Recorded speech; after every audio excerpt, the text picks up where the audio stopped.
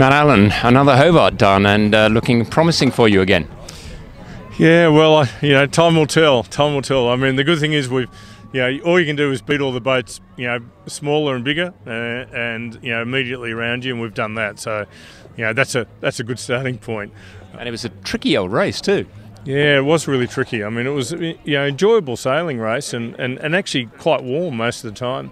A little bit cold first thing this morning, but but yeah, really tactical. You know, those really three troughs that we went through, you know, really, really hard on, you know, the navigators and the tacticians and just trying to work out what's going on and trying to get, wriggle out of them in, in good shape. You've got to get into them in good shape. You've got to come out, hopefully, you know, the same or better. And that's, uh, that's pretty hard. And some of them really local. Interesting to look at the weather predictions for down here, actually around Tasman Light and in, up the river. And I'm looking at all the models, and none of them is what played out today.